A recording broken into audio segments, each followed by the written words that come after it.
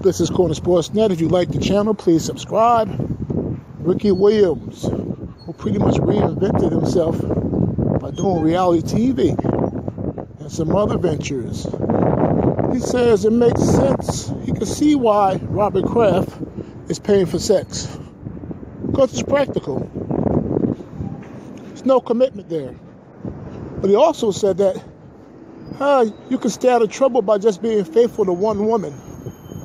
But here's the thing Robert Kraft's wife passed away a couple years ago, and like you just said, having sex with a woman, no strings attached or nothing like that, and you pay a couple dollars, it's real easy. But now Kraft is going to pay